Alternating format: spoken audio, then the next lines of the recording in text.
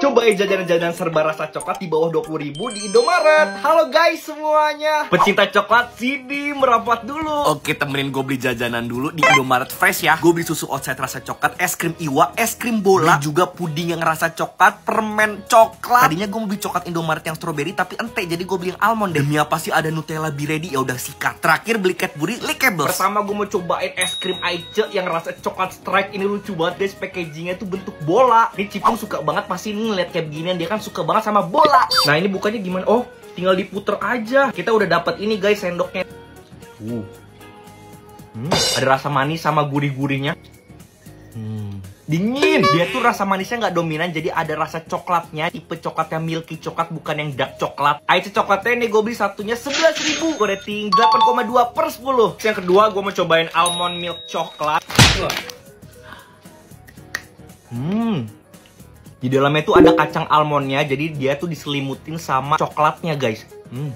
Almond milk coklat Indomaret ini harga 17.500, gue rating 8 per 10 Dari tadi tuh makan terus, gue jadi ngelak, makanya gue mau minum susu cokolate Bate, bate, cokolate Gue baru tahu ada packaging mini yang 200 ml si outside ini. Gue udah siapin ice cube. Siapa yang suka sama es batu, gue suka banget sama es batu, sering nyemilin Gue suka tekstur kayak crunchy-nya, krenyes gitu, uh yummy. Ini harga satu susu coklatnya 7.900 Hmm, hmm dia tuh manisnya nggak terlalu strong, coklat yang seger. Ini gue rating 8,8 per 10. Oke, next. Ini lucu banget, 11-12 sama Kinder Joy ya. Ada suike-nya juga gambarnya. Bukannya gimana ini ya?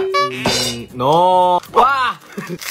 Ini ada mantan. Oh, dapat sendoknya. Roket. Kita dapat stikernya juga nih, ada topi, jam tangan sama gedang buat nempelin ke keteknya. Nih keteknya matanya sinis amat. Oh, pasti Hai, kita lupakan mantan. Sekarang gua mau cobain coklatnya. Wow. Jadi kalau si Kinder Joy kan dia telur gede gitu ya. Kalau ini tuh telurnya kecil-kecil. Baru pertama kali nih gue cobain nih.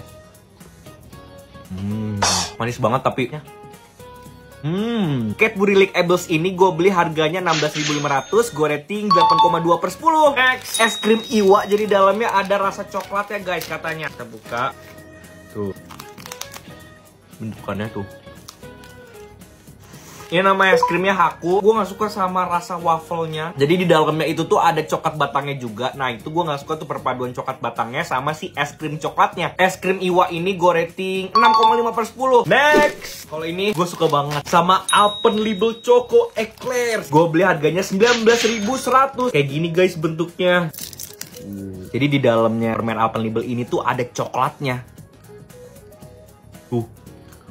Uh, Hmm, karena saya bukan permen Alpenlibe dipaduin sama rasa coklat, hmm, tambah enak banget. Karamel sama coklat dijadiin satu, bombastis, spektakuler rasanya. Permen Alpenlibe ini gue rating 10 per 10. Gue baru tahu loh, di Indomaret tuh ada Nutella yang biredi kayak gini. Temu kayak, nah dia kayak gini ya guys bentukannya.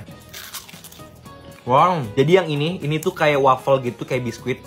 Dia crispy, dalamnya itu ada Nutellanya. Enak banget.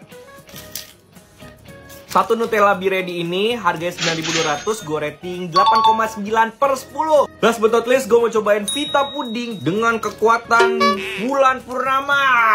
Ini pudingnya harganya 5.500. Cobain ya. Enak. Ini waktu gue sendokin, lembut banget enak-enak. Ini tuh cocok dimakan waktu kita lagi Netflixan. Tapi kok di packagingnya itu ada uh, siflaknya ya kan, makanya nggak sesuai ekspektasi. Ini Vita pudingnya gue rating 8 per 10. Oke, kira-kira gue harus jajan serba apa lagi? Komen di samping ya. Makasih udah nonton, dadah bye-bye.